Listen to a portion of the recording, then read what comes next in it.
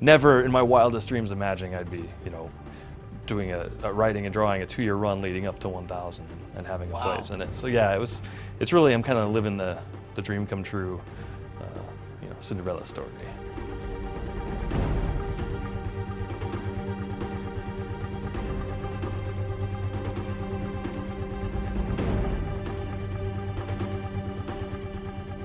People always talk about the difficulty in crafting uh, good Superman stories. Right. Your run in the book, uh, you know, in the Rebirth era, has been one of the most popular of the Rebirth books. How stressful was it with you and Peter trying to come up with stories that you had to crank out every two weeks? It was pretty stressful here and there. I thought we would be, you know, doing it for a year max, but we did we did two years, which is, you know, 45 issues, which is like four years worth of regular monthly books.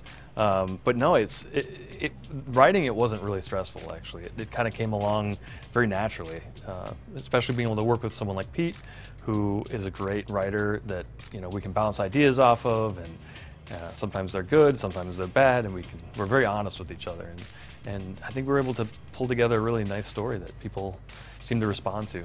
What was the secret that you guys figured out in terms of telling good Superman stories? Because a lot of people struggle Yeah. with the character. You hear it all the time that oh, he's too powerful. Yeah. He- he's not relatable and all this. But you guys made it work, and a lot of other guys have made it work. Right.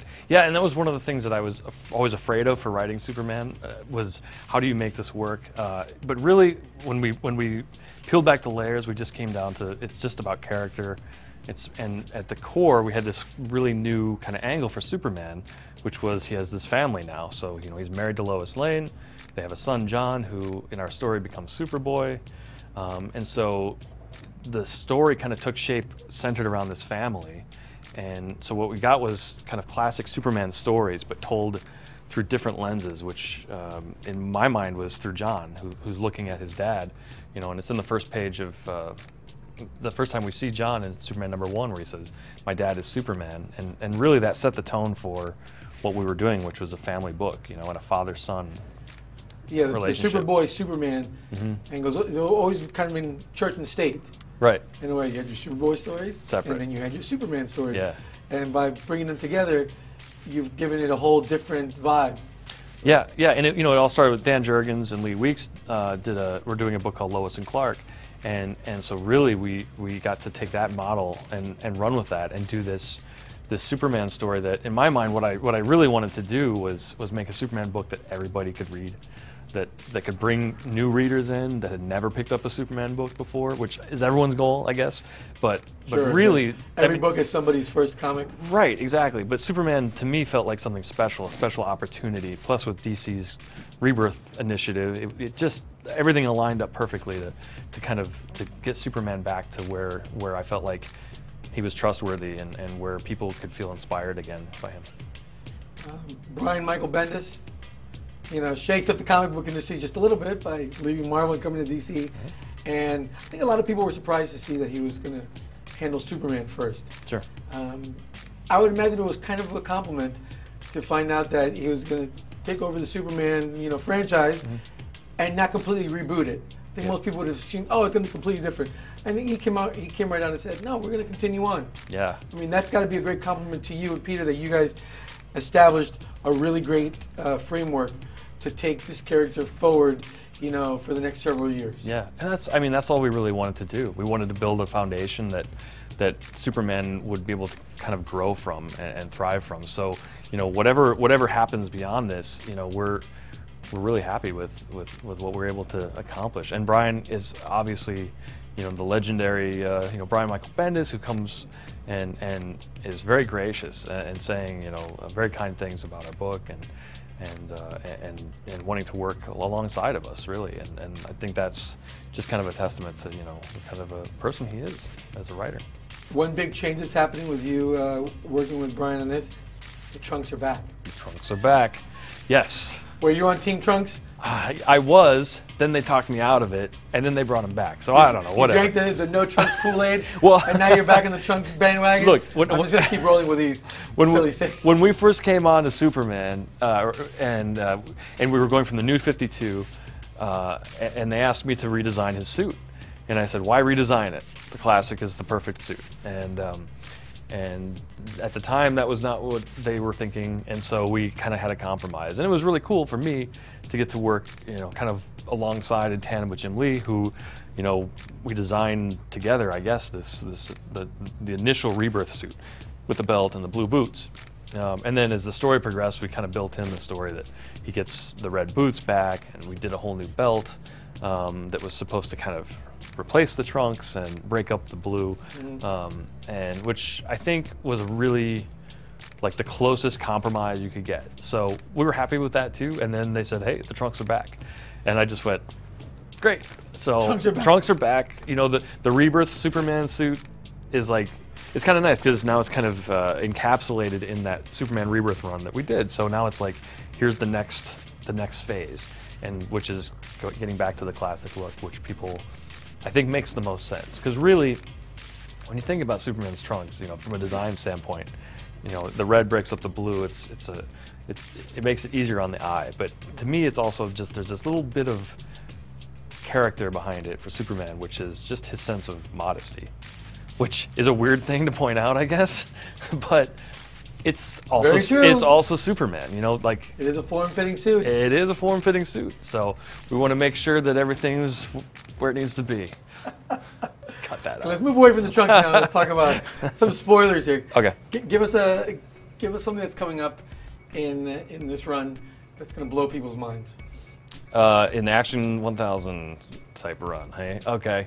I can't tell you. I can't spoil it. They'll send in all all kinds of. Uh... Tease us, Pat. Tease us. Okay, okay. Um, well, there's definitely, uh, you know, we're we're back in Metropolis, and we're getting into the uh, the truth side of uh, of Clark Kent's mission, and I think we're just going to find out that there's a lot of things that are uh, going to make that hard for him to to really get around to, and and we've got new characters that are coming in, and we're kind of really interested in building Metropolis into a city that feels alive and feels uh, like it's people will know it. You know, in the same way that Gotham kind of feels that way. Right. You know, I I feel like Metropolis, um, you know, has has a lot of culture and a lot of uh, diversity and opportunity in there that the citizens really kind of reflect uh, what Superman has inspired to them. And so I think putting Clark and everyone back in that situation brings really brings that to the forefront and makes it about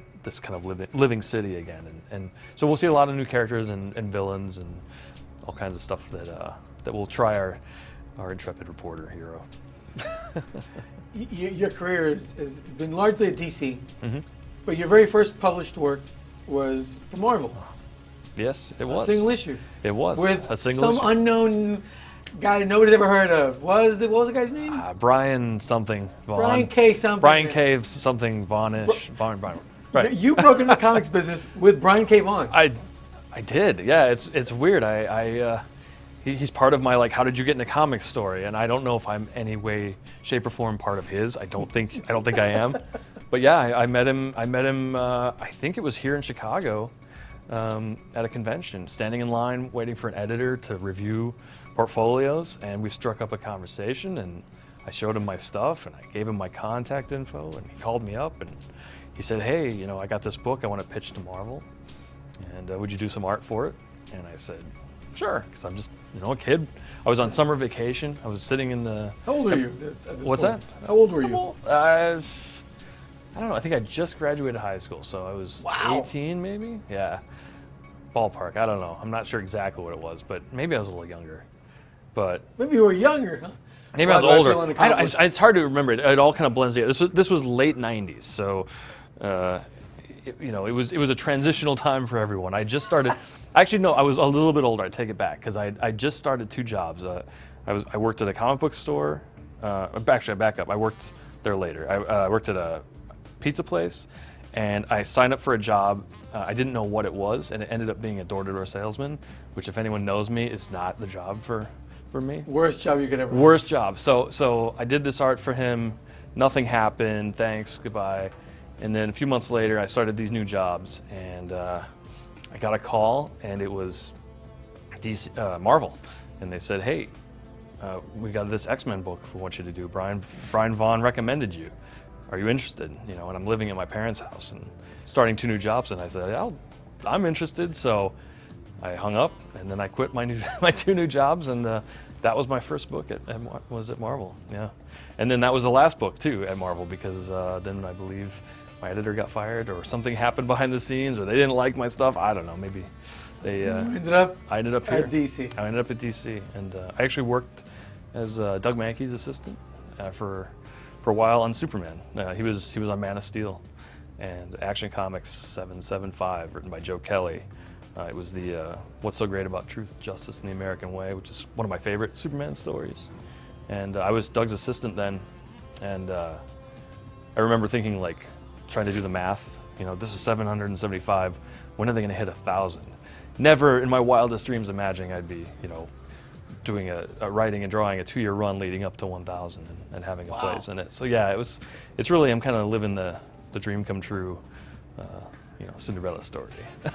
Is Doug Mahnke one of your comic book like influences? One of your senseis in the business who helped you kind of figure things out? yeah. Oh, for sure. Because he's had a, a great career. Yeah. Um, well, like I mentioned before, I worked at a comic book store, and that's around the time when I met him. And uh, I was trying to get portfolios reviewed, and, and he would come in, and I would show him my stuff, and, and he liked it enough. You know, he was able to, you know, kind of tell me how to do it a little better, and things things that editors would be looking for. So not necessarily, you know, and this is very pre, like internet stuff. There was internet, but there wasn't a lot of places you could go. Everyone wasn't on there, right? Yeah, and so you know he really definitely directed me um, and was very kind. He eventually hired me um, to be his assistant, um, and I learned and you know I worked at a desk sitting next to his. You know I ate meals with his family, and his kids grew up thinking I was like their brother. and when I stopped working there, they were like, "Where's Pat?" You know. Oh, no. I know. I was like, breaks my heart, right? But but I mean, I learned a lot. Just you know, he he really I owe so much to Doug, I, and to this day, still. I mean, we work together on Superman. He's uh, he's one of the artists on Superman. So uh, he came over and and was uh, you know drawing pages while I'm writing the dialogue for them, and and you know honestly, we just we just like making comics. We like making each other laugh. We we like drawing cool things and. We like competing, and you know, it's it's really fun. Give me three comics on Pat Gleason's pull list. I don't read comics anymore now that I'm actually like in them. I get them all. It's like I'm I'm, I'm spoiled on them all. Um, let's see. So make three recommendations. Okay, three recommendations. I really like uh, you know Tom King's Batman. Lee Weeks uh, is his art on there just is brilliant. I love it. It's uh, he's he'll text me stuff he's working on, and it's like I shouldn't be seeing this. This is too good, you know. So uh, I definitely like that. Um, oh man, I really like I like kind of non superhero stuff too. Um, I'm rereading Bone, so I mean this is kind of going back, but I, I, it's just a great it's just a great book. You know, really really great storytelling. You know, Jeff Smith's uh, you know art, artistic mind is just just perfect in that. So oh, I got to go back to Tom King though again. I mean, well, this doesn't count. It was Batman Elmer Fudd. Like when you guys when I saw Batman Elmer Fudd, first of all I went why didn't anyone ask me to do this? And then I looked at it and I went, I'm so glad they didn't because it's awesome. It's perfect. It is the perfect comic book in like the last five years. So those are my those are my, my top picks.